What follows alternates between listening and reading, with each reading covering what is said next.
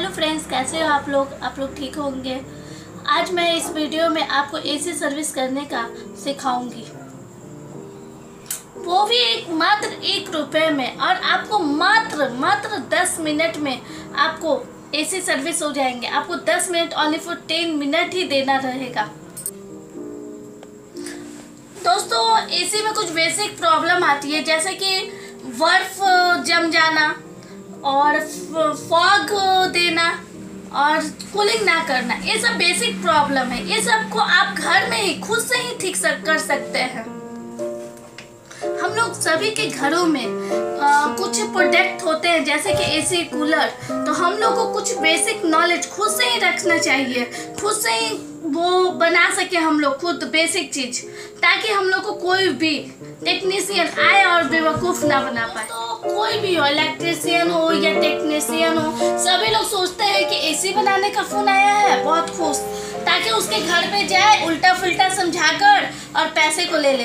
तो दोस्तों, हम लोग सभी को बेसिक नॉलेज होना बहुत ज़रूरी है। तो आज हम आपको इसी बेसिक नॉलेज को इस वीडियो में, इस चैनल में आपको बताने जा रही हूँ। तो दोस्तों, हमारे चैनल को आप सब्सक्राइब ज़रूर करें, ताकि आपको जो भी आपके पास प्रोडक्ट है आपके घर में, उसकी बेसिक नॉलेज आपको मिलती रहे मेरे वीडियो के द्वारा। सबसे पहले हमको देखिए एसी का जो मेन लाइन है मेन कनेक्शन है, इसे हटा देना होगा। पूरी तरह से काट देना होगा। लाइन उसके बाद देखिए दोस्तों, इसे ऊपर से नीचे से ऐसे पकड़ेंगे और इस तरीके से पुश करेंगे, बस ये खुल जाएगी। ठीक है? और इसे खोलकर मुझे यहाँ पे रख लेना होगा। ठीक है? वो उसे वॉश कर देना होगा। और उसके बाद ये सेकंड पार्ट का ये जो है इसको देखिए कितनी सारी धूल है। इसमें बहुत सारे धूल हो गए हैं। बेसिक इसी से हम लोग को गंदगी का बचाव होता है। तो मुझे इसे भी वॉश कर देना होगा। दोस्तों देखिए बेसिक जो होता है ना, वो है ना आगे का पार्ट से होता है, गंदगी। गंदगी से हम लोग को पूरा कूलिंग जो होता है, कम करना होता है। बहुत कम करने लगता है। इसीलिए हम लोग को सबसे पहला ध्यान देना होगा कि हम लोग को क्या प्रॉब्लम है। तो पहला तो हम आपको दिखाए कि पहला ये प्रॉब्लम आता है, इसमें धूल धक्कर हो जाना। फिर सेकेंड में ये हो जाता है, ये धूल धक्कर हो जाना। और इसको खोलने के बाद बेसिक ये पूरा धूल धक्के सब देखिए, ये मशीन में भी पूरे धूल धक्कर जम गए हैं। फिर कैमरा को नज़दीक कीजिए, पूरे धूल धक्कर जम गए हैं। तो क्या करते थे कि टेक्नीसियन लोग, हम लोग को उल्लू बनाते हैं, हम लोग को कुछ पता चलता नहीं कि प्रॉब्लम क्या है।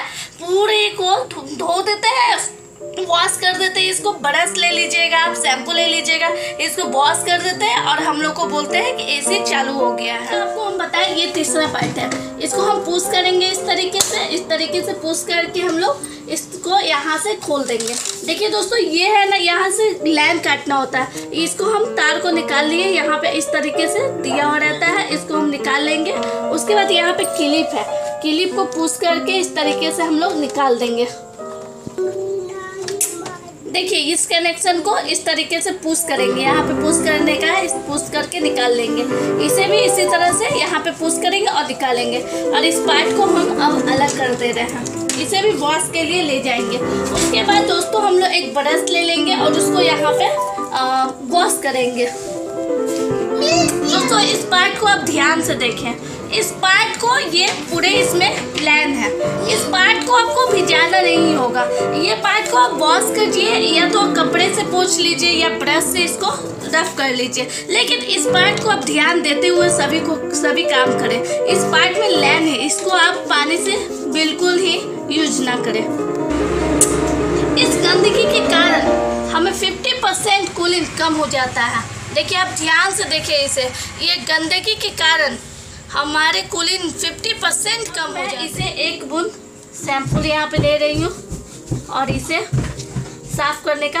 दोस्तों इसे है कभी भी इस तरीके से ऊपर से नीचे साफ़ करना होगा ना कि इस तरीके से। इस तरीके से करने में इसे फैल जाएगा और ये देखिए दब जाएँगे। इसीलिए कभी भी इस तरीके से आपको साफ़ करना होगा ना कि इस तरीके से। कभी भी ऊपर से नीचे साफ़ करना होगा। इसे साफ़ कर लेंगे आप लोग पूरे अच्छे तरीके से। चल इसे साफ़ करें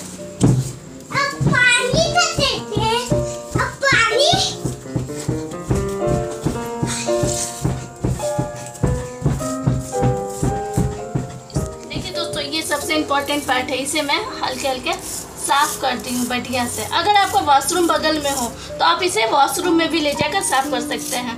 दोस्तों देखिए अगले बार मिस्त्री ने इसे इस तरीके का गलती किया। इसके पूछ करने से इस तरीके से पूछ करने से तो आ, मिस्त्री ने इसे गलती कर दिया। दोस्तों ये सबसे इम्पोर्टेंट पार्ट है।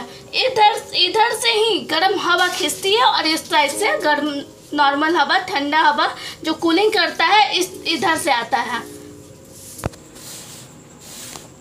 ये वो साफ़ करने के बाद इस ये सबको भी हल्के हल्के हाथों से हम लोग साफ़ कर देंगे। दोस्तों इस साइड में हम लोग पानी नहीं लगा रहे क्योंकि इस साइड में तार है। इसे भी हम लोग अपने कपड़े से पोछ लेंगे। अच्छे से, अच्छे तरीके से साफ़ कर लेंगे। दोस्तों, अगर आप इसे वॉशरूम में जाकर साफ़ करेंगे तो ज़्यादा अच्छा रहेगा। मैं फ़िलहाल इस आपको इस यहीं पे करके दिखा रही हूँ।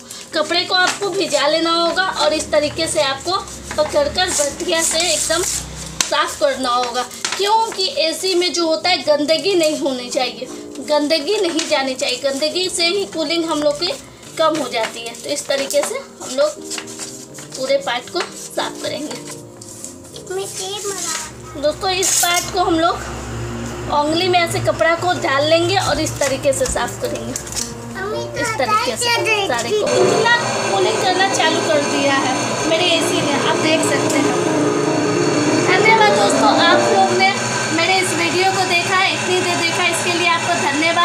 दोस्तों, अगले वीडियो देखने के लिए हमारे चैनल को आप सब्सक्राइब ज़रूर करें ताकि हम अगले वीडियो लाएँ और आप तक पहुँचा पाए।